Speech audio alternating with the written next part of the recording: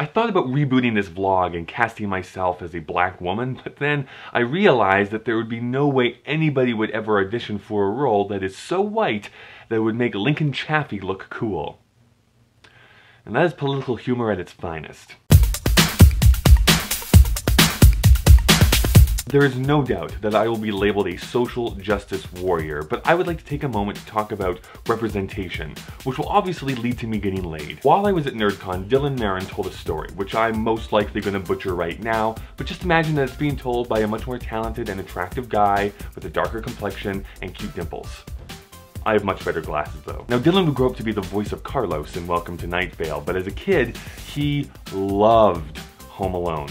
Smart kid, though it did develop a lifelong hatred for Joe Pesci, but that's a video for another time. So imagine his excitement when he discovered that they were making Home Alone 3. It was an open casting call, and any type of ethnicity was welcome to come and try out to be the kid who would terrorize petty criminals. Which, side note, I kind of want the movie with Kevin as a grown-up who has now become a sociopath, which I guess is just American Psycho. How the auditions worked was that a group of children would be up on the stage and you were instructed to either go behind the curtain if you were selected to go on to the next round or go out the front of the theater if you were not. Pretty standard stuff, but Dylan noticed something. All the white children were being invited to go behind the stage while all of the ethnic kids were being asked to walk to the front of the theater the illusion of inclusiveness was very self-evident to a small child. I use that story as an example to show how hurtful it can be to be excluded.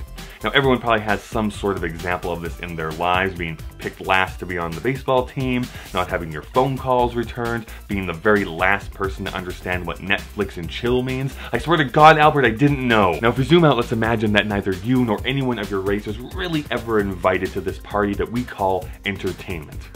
And we call it entertainment because institutionalized racism just doesn't have the same ring to it. As a white guy, I've got it pretty good because I've been represented in media for hundreds of years. We've had the opportunity to have very complicated and engaging characters along with quite a few buffoons. When we prevent people from showing their humanity, we begin making assumptions. That guy can't be a romantic lead because of his skin color. She can't be the lead of an action franchise because she's a woman. That guy can only be the supportive best friend because he's gay. And that can extrapolate to the real world, where our only frame of reference for different cultures, genders, or sexual orientations are these caricatures that make them the other.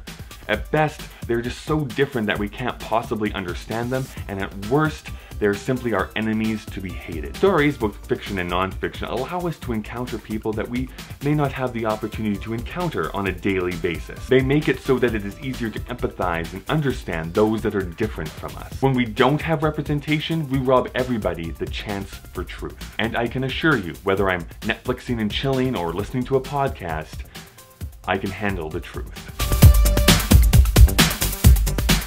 Thanks for watching. My name is Kyle. I upload videos every Thursday. I also every week kind of co-host a podcast called Whatever This Is. Links to that and all my social media are down in the description below. What's the last great podcast that you listened to or the last great book that you read? Let me know down in the comments. A place where you can represent yourself in any way possible and also disagree with anyone in the most passive aggressive way.